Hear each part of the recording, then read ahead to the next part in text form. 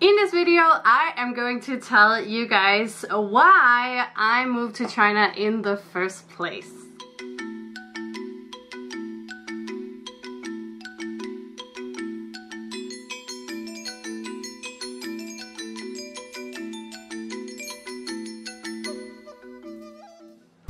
Hey guys, what's up? Welcome to another video from Lingling. Before we get started, I just want to say thank you so much for all of your support.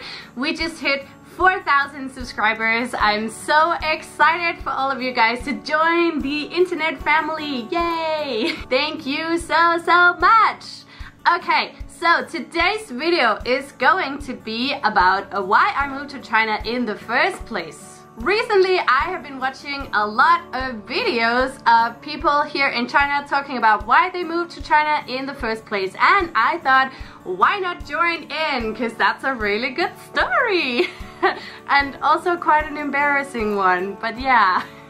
So without further ado, uh, let's get started on this video. When I grew up, I really loved riding horses. I would ride every single day and I remember in ninth grade, my dad, he asked me if I wanted to go for an extra year somewhere at another school and I said no because I had a horse. I didn't want to leave the horse. I also did not like the thought of changes. So I was like, that's not gonna happen. I finished my ninth grade and then in Denmark after ninth grade you go to another school for three years. This one is called gymnasium. I know it's really weird, but that's what we call it. I studied there for three years. I got new teachers. It was a big change for me. I was like, oh my god, so many things are changing. We're not gonna see those teachers again. I was quite a nerd, by the way. so everything changed for me. I kept riding my horse. I went to this new school and at some point things just changed in my head because as I said when I was young, I didn't like anything to change, but then one day I was like, oh my god, this I feel like I'm going crazy here because every single day is the same with the same people, the same things going on, and nothing changes ever. I know. I guess it was not overnight, it was probably more of a thing slowly coming, but then one day I realized, ah, I'm going crazy here. During the third year of this school, my way of thinking really, really changed. I don't know what changed inside, but suddenly I just needed to get out of my hometown as soon as possible, as fast as I could. During that time, I also started reading more books about Asia. I read the book My Life as a Geisha, and I love that book. So guys, now it gets a little embarrassing because, well, I didn't, in Denmark we don't know that much about Asia and in general. And I read the book and I was like oh this is really cool. China, Japan. I didn't know the difference between these countries. So to be honest I really do believe I just thought that China was Japan like my life as a geisha was happening in China because China was like the biggest place in Asia. For Christmas that year I went to the photography club with my dad, my sister, my mom. We went to participate in the yearly uh, Christmas celebration activities, something like that. We played a game and that evening I was just really lucky. So I won a lot of presents and one of them was a book. Yes, this book was called Under the Stars, I think. And the book was about an American girl who was like really young and dependent on her new husband during the beginning of the 1900s. And this husband, he suddenly told her that he was going to China because he was a correspondent and she had to go with him. She was really scared in the beginning, but then during her time in China, she really grew up, matured, became independent, and the husband was a bitch and he left and cheated on her and whatnot. And then she just grew and grew and grew. And I was like, oh my god, I need to be like this as well. Like, that is so cool. I also have to be a Chinese princess. So that was kind of my first encounter with China. I thought, again, I thought that I had already experienced China with like my life as a geisha, both the movie and the book. And then after reading this book, I was like, I really need to look into the option of going to Asia because I just need to get out of here, right? So my feeling of like being tired of home and my feeling for adventure kind of got together and I started researching China as a destination. I talked to a few people and my dad's friend's friend's daughter just had just gotten back from China and she was like, let's meet up and talk about it. So I met her in a coffee shop with her boyfriend who was Chinese by the way.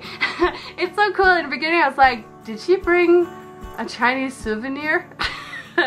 but um, they're actually married today so I'm so thankful for both of them coming and talking to me. She showed me all the information I needed about going to China because at that time I had no idea how to get here so I was like ah but she just said you just apply here here and there because we have an agent in my hometown so the girl said you just go there and talk to her and she can help you with everything and that's just amazing and it was a great experience for this girl so she was sure that I would have fun too. So after talking to her, I was really excited, but then I started reading more books about China and I of course read the books, the three what is it called? Something with swans, Three Daughters of China. So that one is quite aggressive. It's very, it's a real story and I was scared to death. I was like, oh my god, China Cultural Revolution and all these different things. Ah, freaks me out. I don't want to go.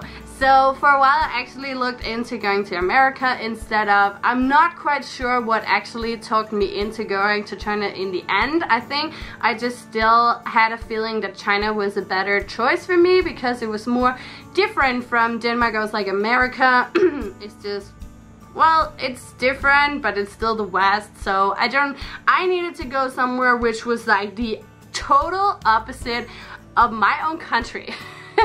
and China was number one on that list. So after a while, I signed up for this agency. I talked to the woman at the office and she said my English was fine.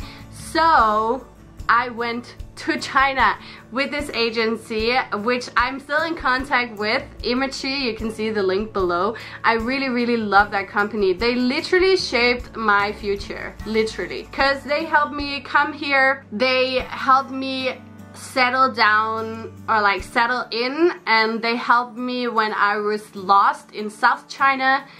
And yeah they just helped me with everything. When I felt, when I had a problem, they would talk to me and I would feel, oh, okay, it's not really a problem or let's fix it together and you'll be fine. So that's actually how and why I moved to China. I was just like super tired of my own little country. I thought my own little country was like a kindergarten. The government was like the kindergarten teacher, tell us what to do and where to go. And if we didn't have any money, they would give it to us and it sounds really stupid that I didn't like that but at that time I just felt like I needed to be responsible for myself. I needed to be forced to get out there you know? I needed to be on my own. I needed to take care of myself and not get help from anyone. So I actually traveled around for two years supporting myself just by working and then traveling a little bit more and studying Chinese, learning Chinese. I'm so happy that I learned Chinese. Yeah, so I guess the reason why I moved to China was literally just because my home's my home country was just too boring for me, I guess. I was adventurous, I needed to get out of there, and now I'm here and I've never looked back. Like, I'm so freaking happy I took this step towards my future and my career. I got a passion and I could combine it with like earlier passions like writing, journalism, and now this. I took pictures like long time ago. I had my own little shop called uh, Lena E's uh, Photo Shop where I sold pictures of my friends' horses to them. Yeah, it was kind of cool early entrepreneur. yeah. So I guess that, that's the reason why I moved to China and I have just been loving it since then. Of course there are ups and downs here in China as well but in general I just really really like my life here and what I want to say with this video is just that guys if you're tired or bored of what you're doing right now take a step out and try something new you know if you can but very often we can we're just very comfortable in our own little bubble, our comfort zone. So I just really want to encourage you to go and try something new if you're not super excited about what you're doing right now. Thank you for watching this little storytelling time blah blah blah. I hope you like this little video. Also guys just want to remind you that I signed up as a local guide at a website called showaround.com which is like super cool. I think if you're a good guide you should definitely sign up as well. And also if you're coming to Beijing book me on showaround.com so I can be your friend for a day and we can walk around and I'll show you all the really cool places my favorite places. And if you have any places you also want to go, then just tell me and we could have so much fun. I'm really excited. So thank you very much. Follow me on social media as well, by the way. Facebook, Lena Around, Instagram, Lena Around. And that was all. I hope you're having a great day, evening, wherever you're in the world. And I'll see you again very, very soon. Lingling. See ya and 再见. Bye bye.